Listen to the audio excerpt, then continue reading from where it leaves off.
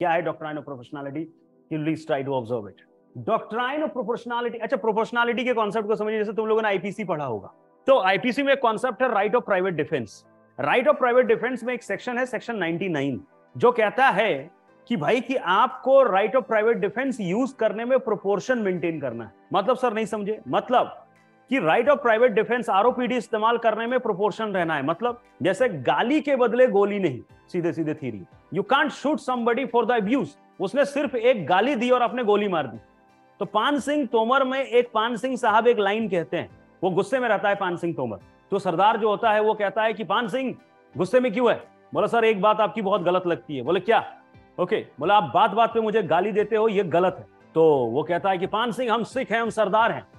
हमारी आदत में ऐसा होता है, हमारे जो है कंडक्ट की बात है कि हम बात बात पे गाली दे देते हैं।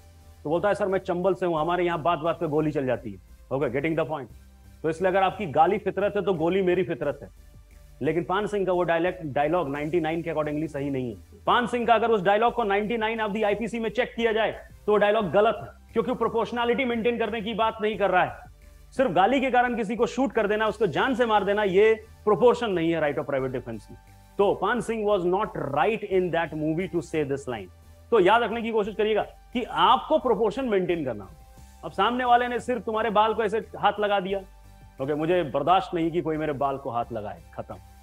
और तुम नहीं, तुम्हारे खानदान तक खत्म कर दिया जाएगा। तुम नीरज बवाना थोड़ी, ये Lawrence Bishnoi remain this point so take care of the point you should not behave like that okay so take care of this point if you see this proportionality के डॉक्ट्राइन को अगर ऑब्ज़र्व करने की कोशिश करें तो साफ़ साफ़ है कि जैसे आईपीसी में भी कहा गया है कि मेंटेन दी प्रोपोर्शनैलिटी तो आप एक्सीड नहीं कर सकते। एडमिनिस्ट्रेटिव लॉ में भी एक रूल है। Doctrine of proportionality is a principle that is used as a ground for judicial review in cases of administrative action कैसे करते हैं? ये लाइन पढ़ो। While exercising administrative action administrative action जब आप एक्सरसाइज कर रहे थे the body should keep in mind the purpose it seeks to obtain and the means it is using to achieve it okay and if its action deviates from the object or are discriminatory or disproportionate then they would be quashed by the court by using the doctrine of proportionality okay अब ये समझ देखो तुम लोग एक छोटी सी बात समझा दे तुम लोग को कैसे समझोगे proportionality suppose that you are an IAS officer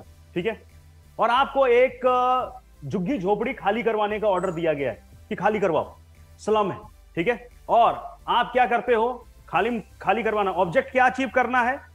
What you want to seek to obtain क्या ऑप्टेन करना चाहते हो कि भाई हमें उस प्लॉट को खाली करवाना है? इवेक्वेशन हमें इवेक्वेट कराना है पूरे प्लॉट को, ठीक है? और मीन्स क्या यूज़ करते हो? तो भाई साहब, वो आईएस ऑफिसर क्या करके ले आते हैं? पूरी आर्मी जो है पूरे सेना बुला लेते हैं। और कहते हैं, खाली कराने का सबसे आसान तरीका है कि यहाँ पे जो है ग्रेनाइट्स लगाओ और उड़ा दो पूरी बस्ती। तो उन्होंने पूरे ग्रेनाइट्स लगाए चारों तरफ़ से और पूरी बस्ती जो है उड़ा दी और एकदम नीट एंड क्लीन कर दिया। बोला, सर, खाली। Do you think so okay या फिर गोली चलवा देना। डू यू थिंक सो नहीं। अभी वो लोग शांति से अगर आपको क्या कहना चाहिए, आपको विकेट करने के लिए नोटिस देना चाहिए, उनको पूरा मौका देना चाहिए अपने अपने सामान निकाल लो।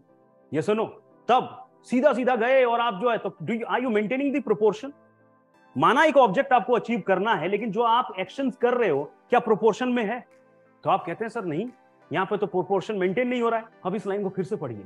The body should keep in the mind the purpose it seeks to obtain and the means it is using to achieve it जिस मीन्स का आप इस्तेमाल कर रहे हो, उस पर्पस के लिए वो प्रोपोर्शन में होना चाहिए। ये सुनो तो जो मीन्स आप इस्तेमाल कर रहे हो, जिस चीज़ को हासिल करने के लिए, उसमें कोई प्रोपोर्शन नहीं है।